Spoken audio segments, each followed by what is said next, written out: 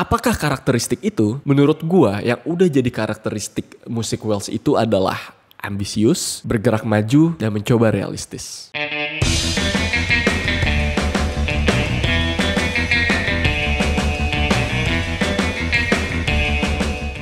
Alright guys, welcome to JM Scope. Ya, balik lagi bareng gua di sini Ageng ya, aka aka apa ya, Bro? Gak usah lah ya, Ageng JM aja gitu ya. Anjir.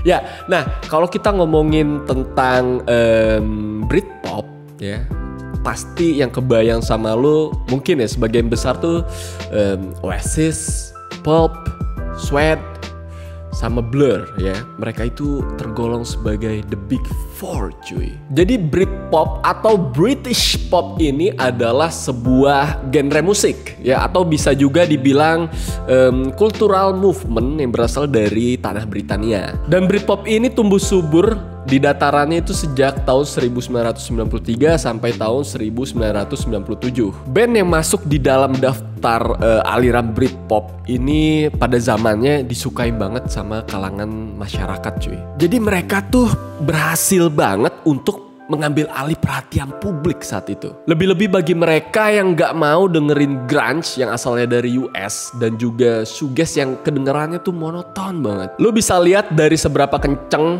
Blur dan Oasis yang mereka tuh sering banget nguasain tangga lagu di UK ya. Bahkan mereka sering banget diadu gitu kayak ayam ya. Nah, jadi hal yang mencolok dari Britpop ini adalah para seniman di sana tuh biasa banget nekenin uh, identitas Britania mereka di dalam karya-karya yang mereka ciptakan. Kemudian setelah dibawa ke ranah mainstream, ternyata Britpop ini pun uh, menimbulkan ya, menimbulkan sebuah gerakan baru yang lebih besar cuy. Namanya adalah Cool Britannia.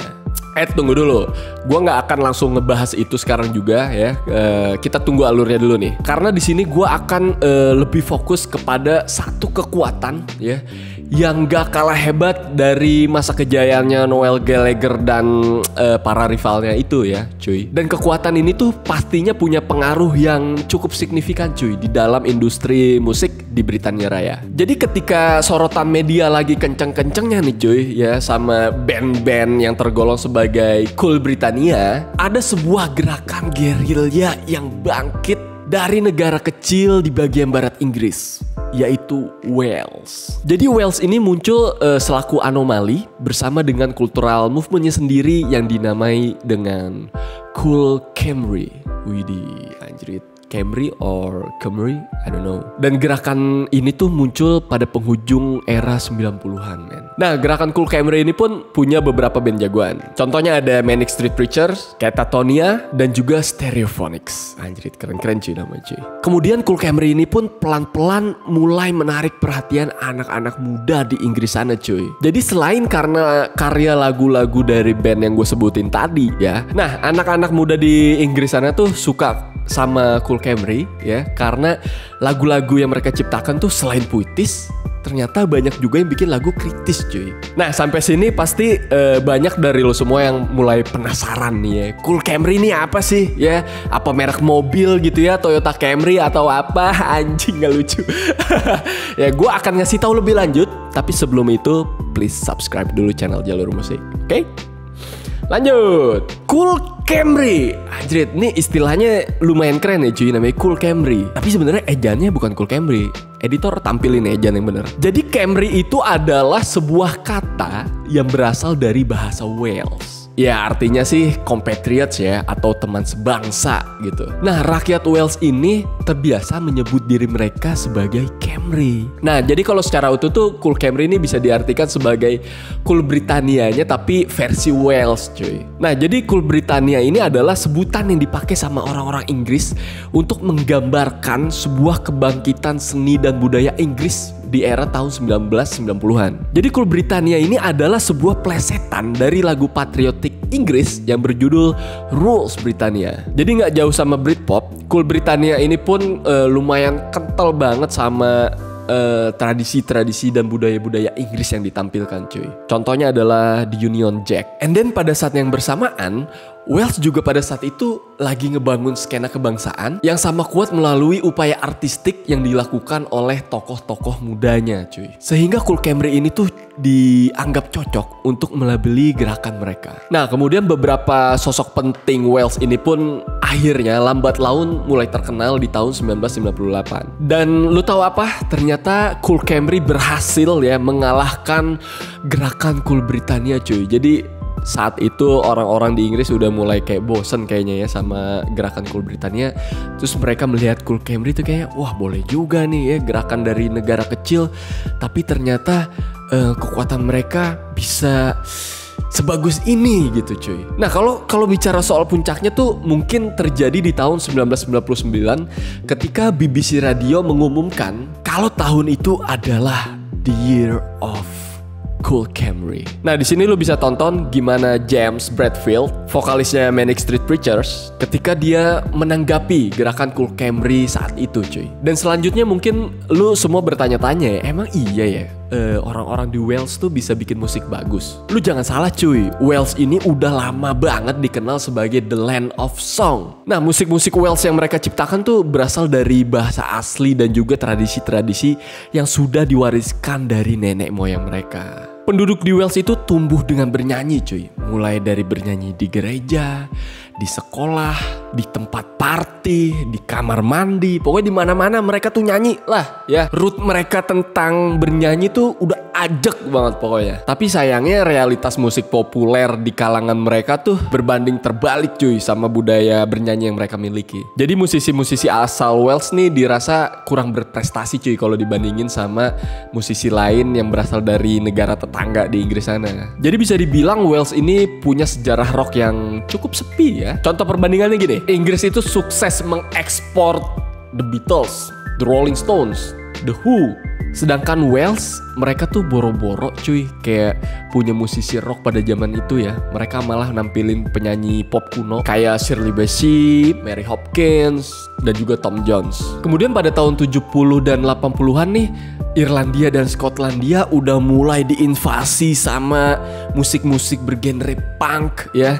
Sedangkan Wales itu masih sibuk aja ngubek-ngubek terus musik tradisionalnya. Akibatnya apa? Pada tahun 90-an ya Wales ini dianggap anak tiri cuy. Kalau ada orang lagi diskusi tentang eh, musik rock di Inggris. Jadi Wales ini dianggap nggak produktif nggak menginspirasi dan juga mereka dianggap nggak bisa nerima masukan-masukan lain tentang perkembangan musik. Bahkan beberapa ahli rock inovatif yang berasal dari Wales kayak John Cale, Green Guard Side, dan juga Young Marble Giants, mereka nih memilih untuk lepas jauh dari sarang. Jadi mereka ini sadar ya karya-karya mereka tuh kayaknya nggak akan bisa mengambil perhatian eh, masyarakat asli Wales cuy. Nah tapi semua pandangan itu berubah di pertengahan tahun 90-an. Ini lebih kepada kepercayaan diri nasional yang saat itu ya eh, sedang terjadi peralihan arus politik di sana. Dan barangkali itu dikarenakan uh, kayak gini, Wales mungkin udah merasa lelah ya lelah hayate gue dibombardir mulu gue dibanding bandingin mulu sama negara Inggris lain gitu. Dari mulai uh, bidang pemerintahan politik ya pemerintah politik ya. Maksudnya musik seni dan lain-lain lah. Ya kemudian para pemuda Wales di sana memberontak dan mereka tuh melangkah lebih jauh ke dalam budaya mereka sendiri. Emang sih ya ketika kayaknya kenapa sih orang harus di ejek dulu gitu ya baru mereka bisa bangkit? Iya sih? Nah pemberontakan itu mereka lakukan supaya mereka berhasil ya menghasilkan suara rock yang nantinya akan membuat Wales bangga. Anjrit. Gue jadi ngegas gini. Tapi yang lebih penting adalah mereka ini pengen ngerasa beda uh, dari negara-negara Britania lainnya cuy. Apalagi selama akhir 1990-an udah banyak musisi-musisi Britpop yang ketenarannya tuh udah luntur. Entah itu karena bubar atau mungkin uh, mereka pindah ke gaya baru aja kali ya. Tapi yang unik dari band-band Wales ini adalah latar belakang kultural mereka yang cukup kuat men. Nah di sini mereka uh, mengalami sebuah dilema ya, kayak mereka tuh harus terjebak sama dua bahasa ya. Lo tau sendiri bahasa Wales tuh gua aja gue pernah ya punya punya temen uh, dia dari Wales. Gue nggak ngerti cuy dia ngomong apa cuy. Beda banget ya. Gue kalau ngedengerin orang ngomong bahasa Inggris dengan aksen British aja gue kayak harus hati-hati. Apalagi lu kalau ngedengerin orang Wales. Buset kagak bisa men. Asli sumpah. Uh. dan hasilnya respon yang didapat adalah ternyata terbentuknya dua kubu dari dilema itu. Kubu yang pertama adalah musisi yang sadar akan jati diri Wales. Mereka adalah super furry animals, catatonia, dan juga Gorky Zygotic Minky. Jadi mereka ini meskipun punya ambisi di luar batas ya, mereka tetap cuy cinta sama uh, bangsa mereka dan juga akhirnya mereka bikin lagu-lagu dengan bahasa Wales. Sementara kubu kedua itu diwakilkan oleh Manic Street Preachers, Stereophonics dan juga Feeder. Nah, mereka ini lebih peduli terhadap genre musik dibandingkan uh, letak geografis di mana mereka tinggal. Tapi mereka yang berada di kubu kedua ini bukan berarti mereka nggak cinta sama jati diri mereka sebagai uh, warga negara Wales ya. Mereka tuh cuman kayak nggak secara terang-terangan lah ngumbarnya. Karena musisi yang berada di kubu kedua ini tuh pure mereka tuh eh, cuma pengen akhirnya tuh dianggap sama orang-orang cuy. Ya akhirnya tuh mendapatkan popularitas mereka tuh bukan menganggap diri mereka adalah perwakilan dari Wales atau perwakilan dari negara Inggris mana pun. Nah, walaupun dari kedua kubu ini eh, kelihatannya saling bertolak belakang, sebenarnya band-band ini tuh mewakili karakteristik yang sama menurut gue. Apakah karakteristik itu? Menurut gue yang udah jadi karakteristik musik Wales itu adalah ambisius, bergerak maju, dan mencoba realistis. Dan lu tahu nggak, ternyata dampak positif dari band aliran uh, Cool Camry ini tuh sampai kepada generasi berikutnya cuy. Jadi Owen Powell nih pernah bilang ya, dia adalah uh, mantan gitarisnya Catatonia. Dia bilang gini, The bands that were successful back then had two effects. Firstly, they made a generation of people want to form their own bands. And secondly, the others who didn't want to or couldn't join a band put on gigs formed labels or got involved in any way they could. Yang artinya adalah translate sendiri. Nah sampai di sini menurut kalian gokil nggak nih cuy gerakan Cool Camry ya? Kayak uh, mereka tuh kayak pengen mendapatkan popularitas mengalahkan Britpop yang kayaknya emang kesampaian ya. Atau menurut lu sebetulnya Cool Camry ini adalah uh, penerus kejayaannya Britpop? Gue pengen tahu pendapat kalian. Komen di bawah. Nah dari kedua kubu yang ngebawa bendera Cool Camry tadi, uh, ada beberapa yang dianggap menjadi sosok pemimpin dari gerakan ini. Mereka adalah Series Matthews dari band Catatonia dan juga Richie Edwards dari band Manic Street Preachers. Pokoknya kalau lu nanya siapa icon di balik gerakan Cool Camry, every day when I wake up, I thank the Lord that I'm Wells. Begitulah sepenggal lirik yang dinyanyikan sama Series Matthews. Nah dari penggalan lirik tadi aja um, udah mulai berasa ya cuy seberapa patriotiknya nih cewek cantik satu ini seberapa bangganya dia menjadi warga Wales. Tapi terlepas dari itu series dan bandnya ini uh, juga punya prestasi yang lumayan ya lumayan bisa bersaing sama band-band mainstream lainnya men. Catatonia adalah band yang mampu mengolah kembali suara rock alternatif tahun 80-an dengan serangan rock indie yang punchy dan alhasil debut album mereka ya mendapat respon positif dari para kritikus dan juga penikmat musik. Wow. Dan dari album kedua mereka yang berjudul International Velvet, mereka ini berhasil ya e, menduduki tangga laku pertama di UK selama beberapa minggu. Nah itu tadi kan si series sama Catatonia ya. Beda lagi sama si Richard dan juga bandnya Manic Street Preachers. Nah mereka ini uniknya ketika orang-orang pada zaman itu lagi asiknya sama aliran musik shoegaze gitu ya. Mereka tuh tiba-tiba malah ngeluarin album yang isinya lagu-lagu punk.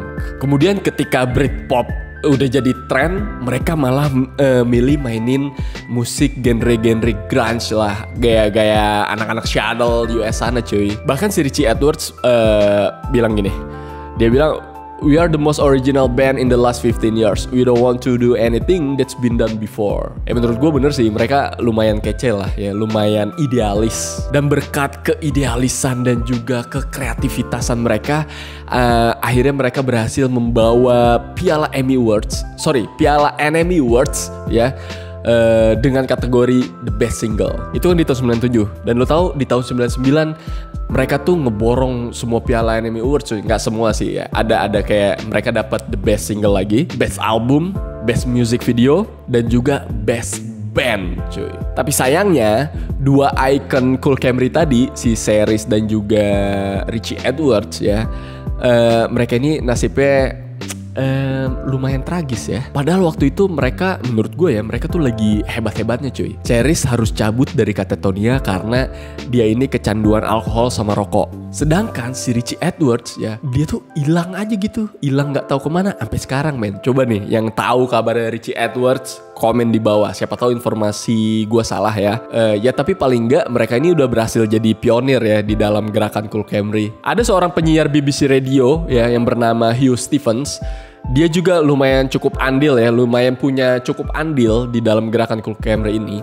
Dia pernah bilang, what the success of this bands did was make people realize that Wales culture and music are important and that it's possible to come from Wales and be very successful. Jadi sebetulnya Catatonia, Manic Street Preachers adalah band-band yang menurut gue sebanding lah sama Oasis, Blur, dan lain-lain. Mulai dari gaya musik, lirik-lirik yang cerdas, menurut gue itu udah cukup lah buat buat me mereka akhirnya uh, dipandang sama orang-orang. Oke, okay, dari semua fase yang udah gue jelasin dari awal tadi sampai barusan, ya, ini uh, terkesan seolah-olah Cool Camry ini menjadi gerakan yang sukses. Tapi sayangnya tidak demikian. Nah ini plot twist nih. Gak ada satupun dari band-band tersebut yang benar-benar mendapat perhatian orang lain yang berada di luar ya Di luar tanah Britania. Ya emang lah ada beberapa single hit mereka yang meledak di pasaran. Tapi sama aja kayak aliran Britpop lain cuy. Kayak uh, musik-musik mereka tuh nggak banyak banget yang bisa nerima ya khususnya di Amerika Serikat. Gue nggak tahu kenapa entah karena persaingan ya atau apa gue nggak tahu. Tapi ada tapinya nih. Gelombang kedua band yang lahir di Wales uh, selama beberapa tahun setelahnya itu berhasil memecahkan ketukan tersebut. Kenyataannya, band-band yang terbentuk dari pondasi gerakan Cool Camry ini punya niatan yang sangat tinggi supaya bisa terkenal seluruh dunia. Contohnya ada ini nih ya, band heavy metal yang didirikan tahun 1998. Kalau lo tahu, namanya adalah Ballet for My Valentine. Jadi album yang mereka ciptakan tuh uh, laku nggak cuma di Inggris doang cuy. Di Amerika Utara bahkan Asia ya termasuk gue sih salah satu dulu yang suka nyanyiin lagu Ballet for My Valentine ya. Itu albumnya laku banget men. Kemudian selain Ballet for My Valentine ada Last Prophet dan juga Funeral for Friends. Dan lu tahu nggak? Kita kan sekarang lagi memasuki eranya new wave ya. Nah, Wales juga lumayan uh, melahirkan musisi-musisi new wave yang namanya cukup besar sekarang. Contohnya ada Catfish and the Bottleman, Goldie Looking Chain, Marina and the Diamonds, dan juga band Dream State. Lu kalau ngedengerin musik-musik mereka tuh lu pasti nggak bakal percaya cuy kalau ternyata mereka itu berasal dari Wales. Terus apakah julukan Cool Camry ini uh, bisa kita sematkan kepada uh, band-band yang barusan gue sebutin ya, band-band yang udah mulai sukses alias generasi-generasi setelah Catatonia dan juga Manic Street Preachers. Kalau untuk soal itu, menurut gue itu pendapat masing-masing ya. Kalau menurut gue sih bebas-bebas aja ya, bisa jadi. Kenapa? Karena kayaknya ya kalau nggak ada gerakan Cool Camry, mereka tuh nggak akan sekencang itu nih gak sih niatan bermusiknya? Kayak anjir Wells nih harus dilihat nih gue nih harus jadi musisi hebat nih. Ya gak sih? Setuju nggak? Ada orang yang bernama Ashley Todd. Ya dia ini adalah um, penjual di toko musik Spiller Records.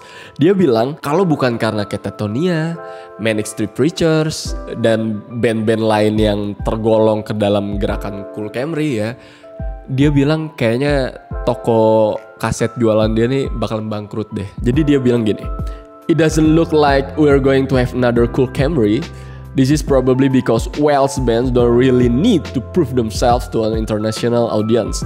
Those bands in the last wave of cool Camry paved the way for those making music now.